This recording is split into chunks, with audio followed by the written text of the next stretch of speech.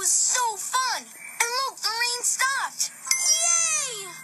Oh, Moon, what's wrong? It's just, well, you didn't get to see what we came for, is all. Moon, please don't be sad. Try to make the best of things and look for what's good.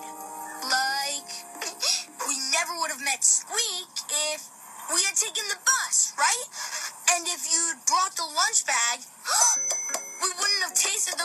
South donuts.